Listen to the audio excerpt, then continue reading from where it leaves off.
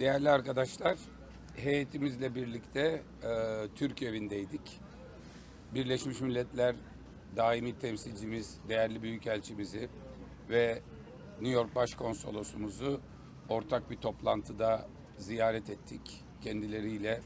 Hem daimi temsilciliğin Birleşmiş Milletler'deki faaliyetleri, temasları, içinde yürüttükleri süreçler hakkında ayrıntılı bilgiler aldık. Hem buradaki Türk toplumuyla ilgili Sayın Başkonsolosumuzun e, bilgilendirmelerini aldık. E, hem de Türkiye'nin dış politikası ile ilgili çeşitli görüşlerimizi paylaştık. Tabii bugün Türk evinde olmak bizim için çok anlamlı. Burası 1970'lerde İhsan Sabri Çağlayangil'in bakanlığı döneminde e, 1950'lerde dünyanın en büyük e, bilgisayar firması olarak kurulan firmanın yönetim merkezini Türkiye'nin satın almasıyla kazanılmış. O günden beri Türkiye adına sahip. Sayın e, Büyükelçimiz Namık Tan'ın da daha sonra inşaatı aşamasında çok emeklerinin olduğu ve e, 2017 yılında yıkılıp yeniden bugünkü halini alan içinde Kuzey Kıbrıs Türk Cumhuriyeti'nin temsilcisinin de olduğu hepimiz açısından gurur kaynağı bir bina. Daha önce Türkiye'de de ifade etmiştik. Bundan sonra Cumhuriyet Halk Partisi New York'ta e, sadece konaklama rezervasyonları yaptıracak otellerde. Otel odalarında, otel lobilerinde, otel toplantı salonlarında değil. Tüm resmi temaslarımızı e, Türk evinde, Türk evinin şartları uygun olduğu şekilde sürdürmeyi düşünüyoruz. Dışişleri Bakanlığımız da değerli yetkilileri de bu konuda son derece e, bize karşı açık davrandılar ve misafirperver davrandılar. Bugün binada Sayın Ersin Tatar'la görüştük.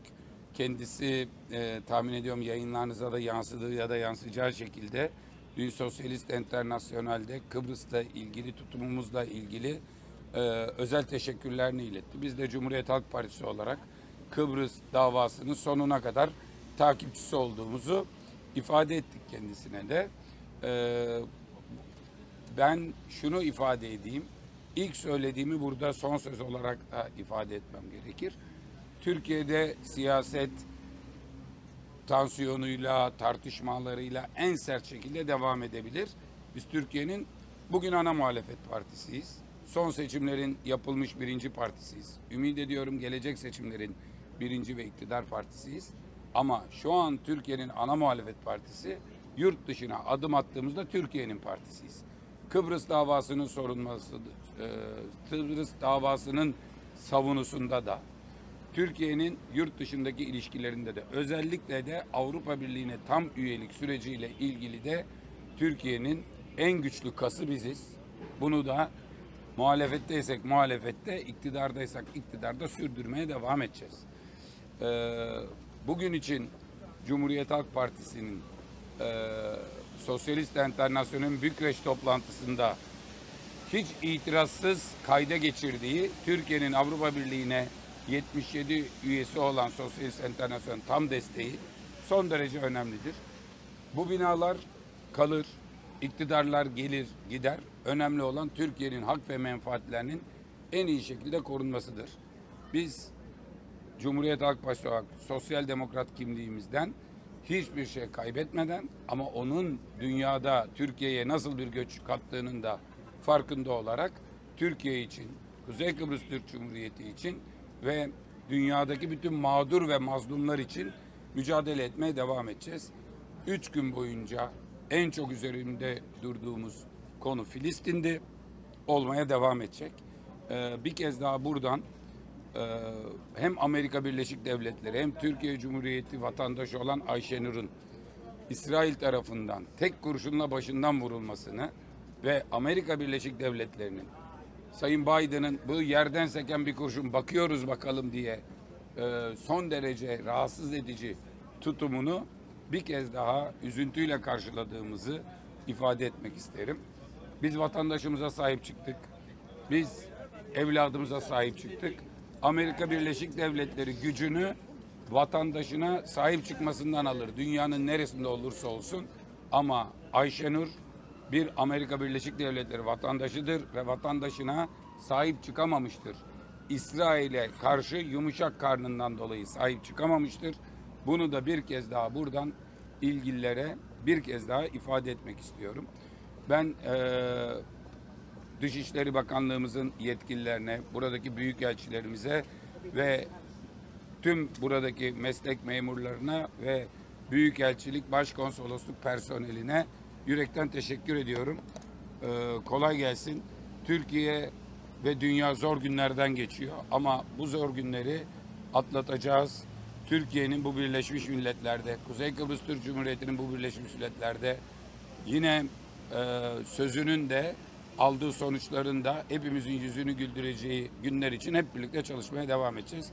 Sizlere de üç gündür e, heyetimize göstermiş olduğunuz ilgi için ve mesleğinizi yapıp sesimizi bütün dünyaya duyurduğunuz için ayrı ayrı teşekkür ediyorum. So I have a question, sir. Thank you. 25 countries launched an initiative to uh, take a legal action against Taliban in Afghanistan in terms of uh, human rights violation. What is your country's position on that? Haven't seen any Islamic countries in that list, only Morocco. Biz Cumhuriyet Halk Partisi olarak Dışişleri Bakanlığımızın ve buradaki temsilcilerimizin tayin ettiği hattı takip ediyoruz. Teşekkür ederim. Teşekkür ederim arkadaşlar. Buyurun. Binanın da adının geçtiği New York Belediye Başkanı ile ilgili bir soruşturma başlattı bugün. Ee, ve bir iddianame açıklandı. Türk hükümetinden hukuksuz şekilde bağış almak, bu binanın izinlerinin sağlanması için de New York itfaiyesine baskıda e, bulunmakla ilgili. Ona dair herhangi bir bilginiz, görüşünüz? Erken bir şey sö- söylemek istemem. Ee, sayın Büyükelçilerimiz konuyla ilgili neler konuşulduğunu objektif şekilde bize de ifade ettiler. Ama e, şu kadarını söylemek isterim. Türkiye Cumhuriyeti Devleti Amerika Birleşik Devletleri'ne ki e, orada o zaman bir gözünü kaybeden NTV muhabiri Didem Hanım'ı da hatırlayalım. E, saygıyla analım. E, o saldırıdan sonra Amerika Birleşik Devletleri'ne Türkiye çok önemli bir jest yaptı ve burada e, böyle bir bina yapılırken Türkiye Amerika Birleşik Devletleri'nde rüşvet vermeye ihtiyaç duyacak bir ülke değil. Öyle bir acziyet içinde değil. Böyle bir şeye kalkınmak, e, niyet etmek falan Türkiye Cumhuriyeti Devleti'ni temsil eden kimseye yakışmaz. Ben bunları yakın yere koymam. Ama bu böylesi bir binanın hepimizin gurur duyduğu böyle bir binanın kazandırılması sürecinde bir jest gördüysek fazlasını Amerika Birleşik Devletleri'nin Ankara Büyükelçiliğine tahsis edilen o muhteşem alan için yapmışızdır.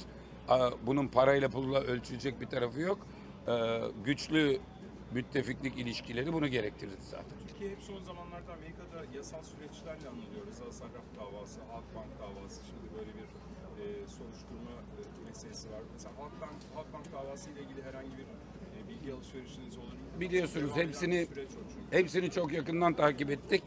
Ee, hükümete yönelik bu konuda çok ciddi eleştirilerimiz var ama onu yapmanın yeri burası değil. O Ankara. Orada söylenecek her söz, söylendi. Söylenmeye de devam edecek.